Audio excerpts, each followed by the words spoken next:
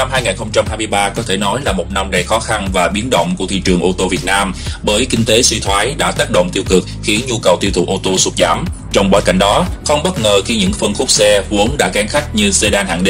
tiếp tục chứng kiến sự sa sút. Phân tích số liệu thống kê từ Hiệp hội các nhà sản xuất ô tô Việt Nam cho thấy, khép lại năm 2023, toàn phân khúc sedan hạng D tại Việt Nam chỉ bán ra tổng cộng 4.625 xe, trên số này giảm mạnh gần 3.100 xe, tương đương đến hơn 40% so với năm trước, bất chấp những nỗ lực ưu đãi, giảm giá nhằm kích cầu tiêu dùng từ các hãng và đại lý ô tô.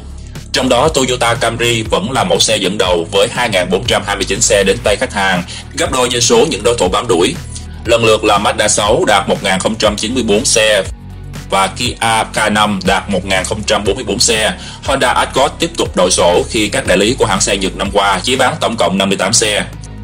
Theo nhiều chuyên gia trong ngành ô tô, trong một năm mà thị trường chung ghi nhận sự ảm đạm, việc phân khúc sedan hạng D không thể duy trì được đà tăng trưởng như năm 2022 là điều đã được dự báo từ trước. Tuy nhiên, mức giảm gần một nửa doanh số cũng cho thấy một thực tế khó phủ nhận rằng những mẫu sedan hạng D đang ngày càng đánh mất sức hút.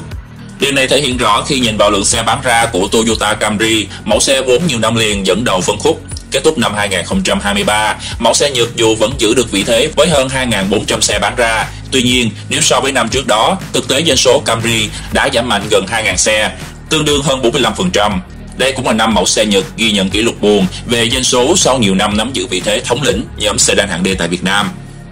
Nhìn vào số liệu bán hàng của các thương hiệu ô tô tại Việt Nam hiện nay, không khó để nhận thấy sự chuyển dịch trong xu hướng chọn mua xe của người dùng. Trong đó, những phân khúc xe cỡ nhỏ, xe đa dụng dành cho đô thị hay nhóm xe MPV, gia đình 7 chỗ, kết cấu 5 cộng 2 đang ngày càng được đông đảo khách hàng ưa chuộng. Trái lại những mẫu sedan hạng D có tầm giá dưới 1 tỷ đồng lại dần đánh mất sức hút, không chỉ bởi mức giá khó tiếp cận mà còn bởi công năng của nhóm xe này khó đáp ứng tiêu chí và nhu cầu ngày càng đa dạng của số đông khách hàng. Ngoài ra, sự ảm đạm ở phân khúc sedan hạng D còn một phần đến từ nguyên nhân chủ quan khi nhiều hãng xe trước đây từng góp mặt đã lần lượt rút khỏi thị trường như VinFast, Volkswagen, Nissan hay Hyundai. Trong khi những thương hiệu còn hiện diện gồm Toyota, Mazda, Kia và Honda cũng không còn quá mặn mà với những mẫu mã ở phân khúc này và chỉ duy trì phân phối với mục đích lắp đầy hoặc đa dạng giải sản phẩm. Hoặc như trường hợp của Honda Accord, đại diện một số đại lý của hãng xe Nhật thừa nhận, sự góp mặt của mẫu sedan đầu bảng này chủ yếu hướng tới phục vụ nhóm thiểu số khách hàng, còn trung thành với Honda. Trong năm 2024, khi thị trường ô tô nói chung vẫn còn đối mặt với rất nhiều khó khăn, Phân khúc sedan hạng D dự báo cũng sẽ khó khởi sắc trở lại. Thậm chí việc khách hàng ngày càng quay lưng với các dòng xe sedan cỡ lớn, nhiều khả năng doanh số sedan hạng D còn tiếp tục đà giảm.